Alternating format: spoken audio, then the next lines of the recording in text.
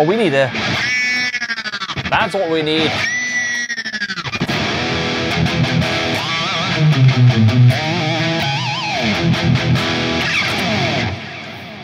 That should do it. What's up? It's Thomas here, and I'm back with another live video. So no cuts, no edits, me and you raw straight from the streaming software. And today I'm going to show you how I like to dial in a lead, a lead tone. Lead tone? Lead tone. Sounds like some model of a, a guitar. Hey, have you heard of that new Kiesel Elite? Uh, no. Anyway, lead tones. And it's fun because when I dial in my gain tones, I like to have the option of being able to play rhythm stuff. So on a live stream, I don't tend to change between a rhythm tone and a lead tone. I just use the same gain. And I think if you get the perfect balance between the amount of overdrive and distortion and certain frequencies in your tone, then you can, you know, absolutely just use one sound. Great for riffs. But as soon as you switch up,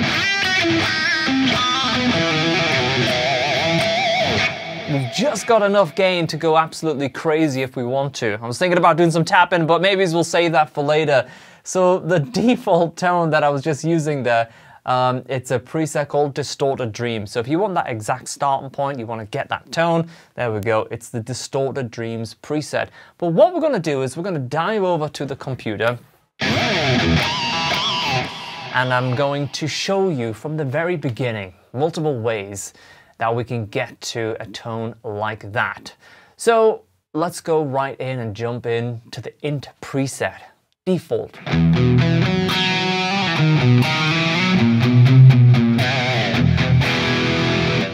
So that's a pretty low gain um, sound, right? There's not a lot of um, fire on that uh, sound. Now you'll notice that if I turn off heatpressor and we're on the gain channel here, and I just go flat out on the drive, because I see a lot of people, they're reaching for more distortion, but with the McRocklin suite, that's not really the way to get there. So this is the amp, and this is max gain. Not a lot of gain, right? So why? Why is that? Well, the, the way I look at it and the way I feel about that is if you have a lot of saturation in the actual amp itself, it's very difficult to have any influence over the actual tone. And you've seen maybe videos that I've done on YouTube about overdrive pedals where I've talked about people cheating, people using these killer overdrive pedals, but it's going into an amp that already has a lot of saturation. So really this overdrive pedal, it ain't doing nothing. It's giving it a little tickle. It's just, it's, it's giving it like a little boost, you know? So yeah, I really get like disheartened when I see videos like that because I know it's a complete cheat. It's a lie, okay? But by having your platform amp, your main gain amp set up to take pedals, we can have a lot of influence over the final sound. So for example, if I go back to mid sort of gain here, I could turn on heatpressor and get a lot of gain going into that um, gain channel. I could really smash the level a lot and turn on tight and bright and push it and see how that sounds.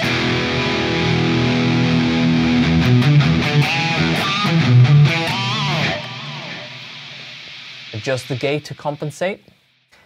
Not ideal, but you get the idea. It's like that's one way that we can push more signal. But personally, I really, really, really like stacking things. I've just loaded this sound completely from the beginning and you can see by default it's using a little bit of boost and a little bit of well, 7 dB or so of gain. Um, so that's pushing signal into this gain amp.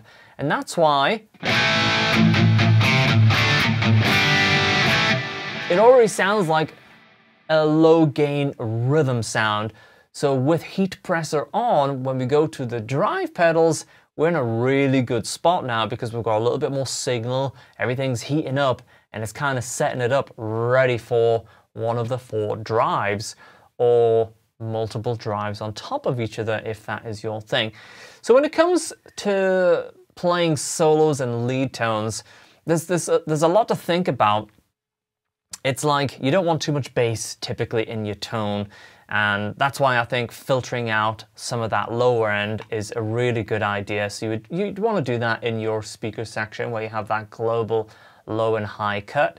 And it's, it's a complete balancing act through and through. It's a balancing act of how much distortion you have on your signal, too much gain, too much distortion, all your pick articulation, boof, it's gone out the window. It's just like mayhem territory.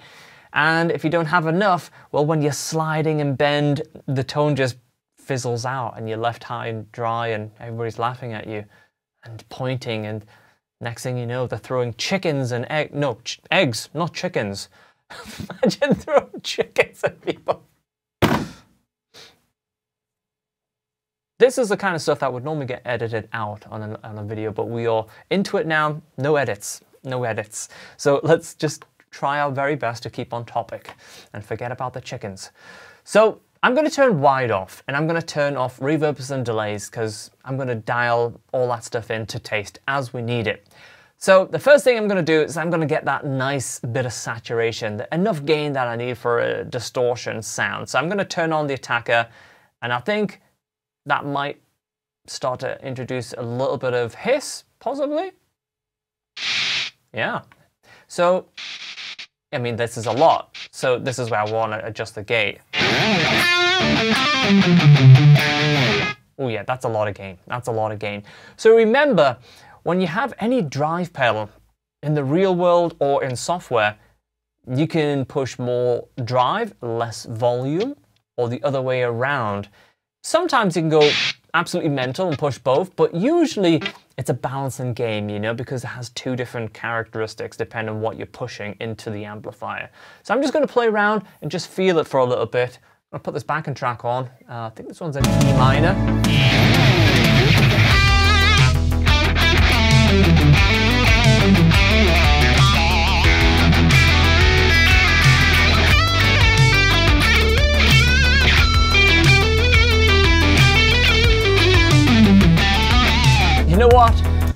Right away, I'm feeling, I haven't really done much, but I'm kind of liking that amount of saturations. In a, in a moment, I'm going to show you how we could stack drives on top of each other, but I'm just going to take this to a, a lead tone that I think works. I also like this cab, that's kind of got the nice balance.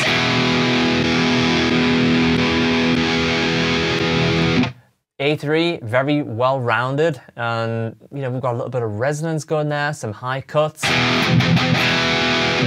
Amps a little bit sort of scooped, but not crazy like this. Because when it comes to lead playing, the balance between the mid-range and the high range, once we've got rid of that low-end gook, that's where the magic really comes together.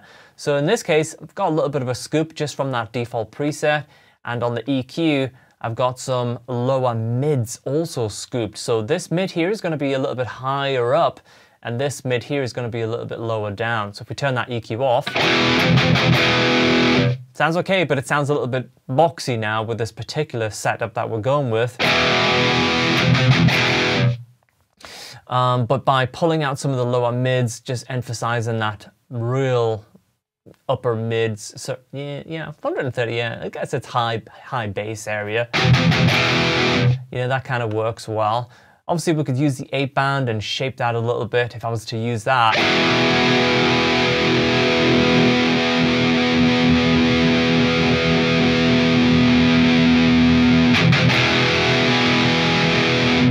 That's kind of nice. I'm just gonna put the little bit of reverb delay back on. Just, yeah, I'm gonna try that.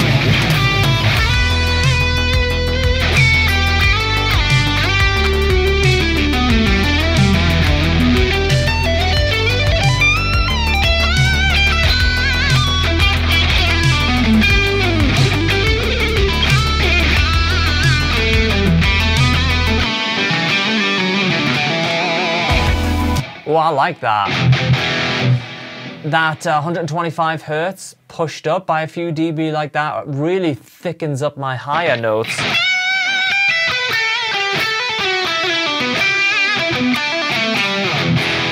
And the good thing is, is with the EQ that's in the Polychrome McRocklin suite is you can jump between the 4 and 8 band and see how your setup changes, you can hear that there's a little bit of a bump in the, the high mids here versus the four band. A little bit more scooped and trebly sounding.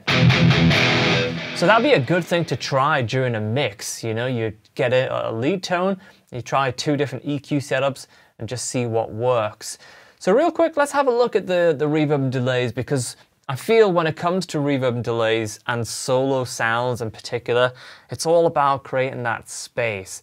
And this is why most of the presets that I have in here use that ducking. Now the ducking, if you're not sure what that is, if I turn the reverb off and I hear delay repeating, I, let's turn that up and turn the filters off make it less wide. So we hear, hear that right in the middle there, right? And if, if I start to solo right now, that would be a little bit too much delay for sure. Let's try it.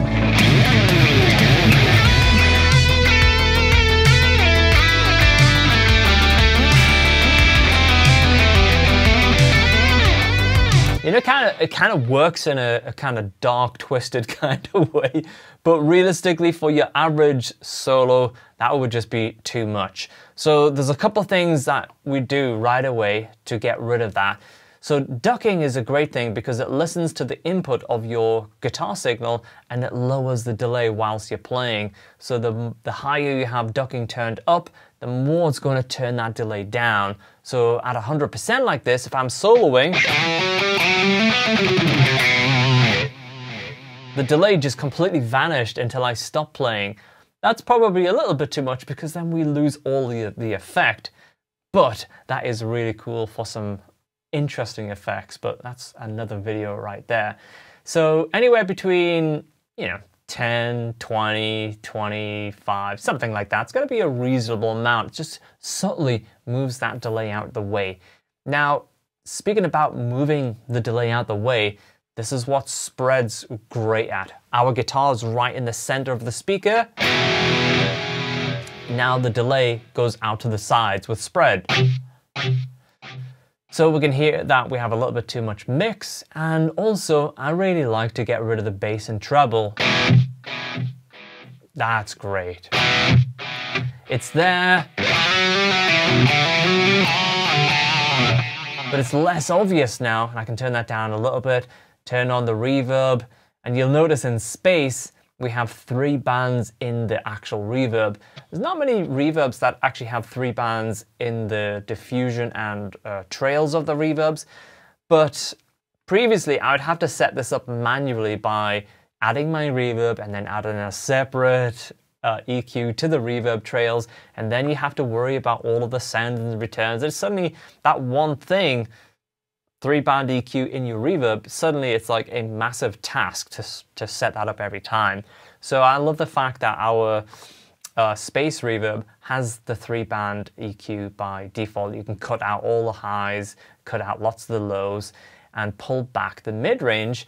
And for lead playing, it helps create space. If I crank all that mid range up, you hear all that mid range. Now again, that could be great for a certain effect if that's what you're going for, but for your average solo where we want what we're playing to really sing and shine,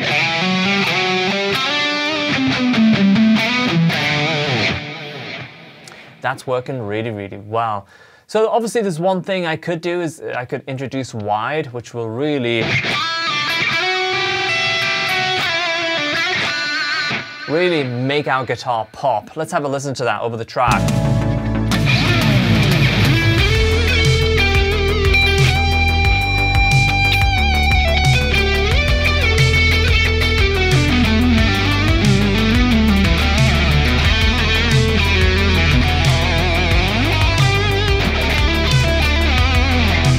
I feel like for this particular track, I want the guitar to be kind of almost like a little bit more intimate like we can touch and feel it right there in the mono and then the reverbs and delays are outside. So for this particular track, personally, I don't think the wide works as good as it would on a track that's very exciting. We want the guitar to be like this kind of blazing monster sort of thing, you know? Um, so that's something to think about. How do you want people to to really hear and connect with the notes that you're playing? Um, so for this track, I'm gonna leave wide turned off. Let's go.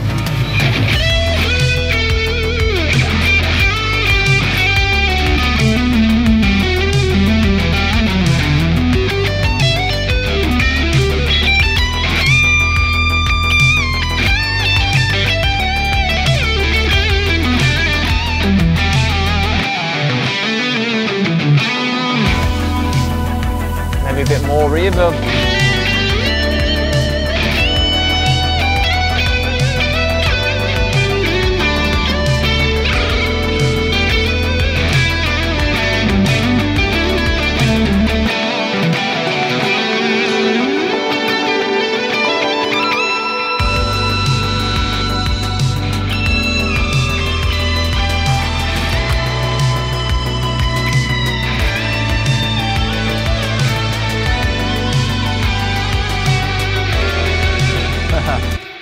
Little bit rough there, a little bit roughs, but you could tell that the reverb, we could not skimp out on reverbs. Uh, the amount of times that I've just had a great guitar tone and then put a bad reverb on, it, you know, in a plug-in chain, oh God, just ruins everything. Good reverbs make all the difference. Anyway, let's get back on track here and dial those reverbs and delays back. I really like how that sounds just like that, but I want to show you how I would stack, let's say, attacker and shredder together, maybe attacker and riffer together, and see how we can get uh, those guys to play nicely. So first thing I'm going to think about is, is, um, is just maybe reducing the channel gain just a tad, and then I'm going to turn on the shredder, and it probably is going to make some noise. Yeah, because suddenly a lot more gain. So re remember when I was talking about it's a balancing act. This is not just a software thing. If you plonk two overdrives or two distortion pedals on your desk, on your desk, and you plug them in side by side, boy oh boy, are they, they're gonna make a lot of noise, like chaos, you know? And it's the same in software. It's exactly the same. So I'm gonna reduce the drive, I'm gonna reduce the level, I'm gonna turn down maybe the gain in the shredder, and then I'm gonna play with that gate a little bit and just see how much um, saturation we have now.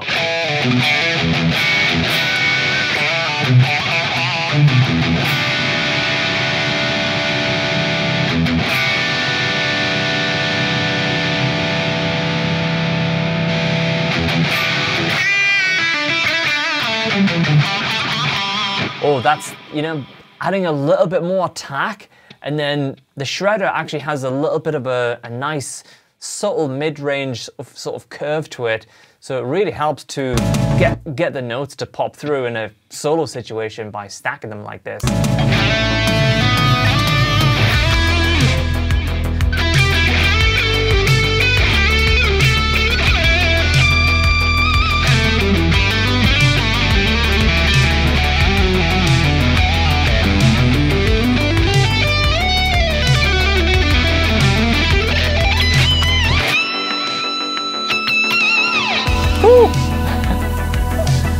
I like that. I like that a lot. So that's using Attacker with Shredder. And you can feel that it changes the way that you play. It's like it's a different feel thing. That's what I love about stacking drives. Now, when you're stacking drives, I mean, right there, it's actually, you know, it's totally fine. It's not doing anything crazy. But if you have too much distortion and, you know, you're just willy-nilly dropping these drives on, because you have four drives there, so if you start like putting three drives on and you're using heatpressor, you know, be warned, it could be a complete chaos mess. It could sound like, you know, you're sitting in front of your interface and it's like this. Your interface real close. You could get all sorts of stuff. You know, my interface, it's like here, it's at arm's length, right? And it's it's good. You know, obviously I'm, I'm leaving my volume pot up here, so I have to be careful because we're in shred gain, shred mode here. You know, there's a lot of distortion. But overall, it works tremendously well. So let's try another combination. Let's maybe try maybe attacker and viber. So let's uh, let's give that a shot.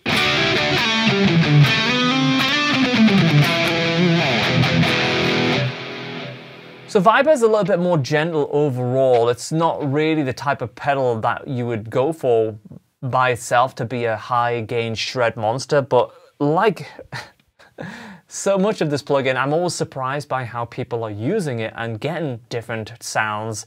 And it's one thing I figured out over time is how to dial in completely different drive sounds because all of this right now is with tightness and brightness turned off. So the way these distortion pedals behave will change depending on how, how, much boost and the tightness and brightness. And suddenly we've gone from like a balancing act to playing like almost like a symphony, symphony, symphony with drives and ways that we can boost the amp. You know, it's it's really fun.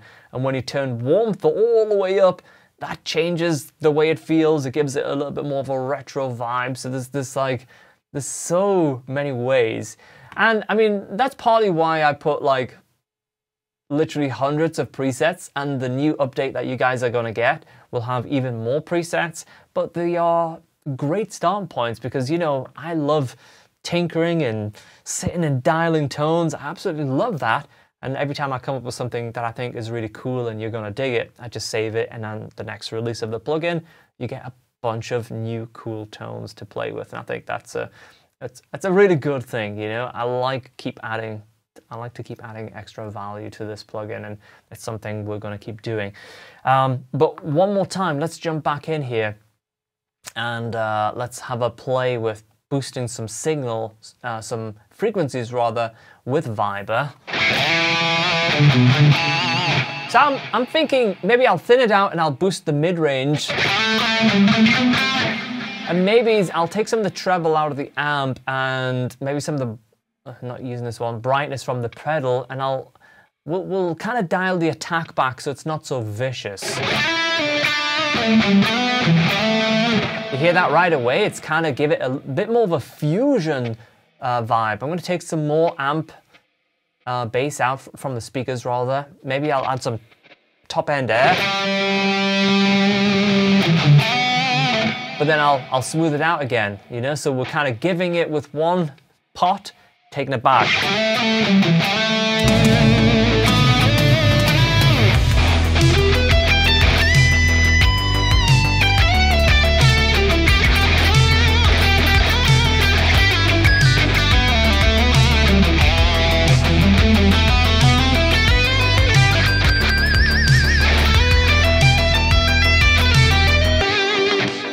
Terrible little slide to the D sharp. That was terrible. That was a that was a fail.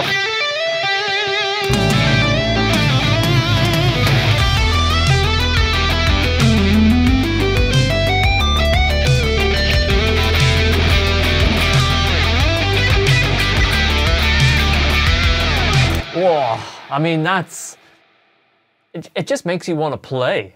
It makes me want to keep playing. If I didn't have this streaming software recording this, I would just be sitting jamming it out. So I'm going to turn on the warmth, I'm going to add on the tightness and the brightness, and I'm going to crank up the boost a lot. And then I'm going to take down the drive, and I'm going to try maybe changing over to the riffer, maybe just maybe just shredder and the riffer. Now, riffer, you hear it has this almost like gnarly battery dying kind of characteristic in the background. When you listen for it, it's a really, really cool kind of interesting gnarly saturation that it does. It's really, really interesting.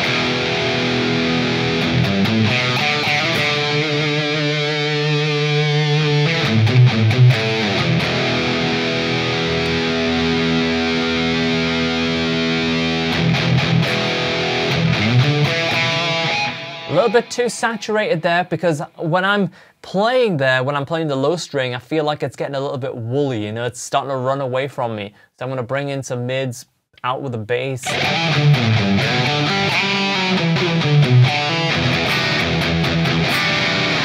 Yeah, that's starting to sound.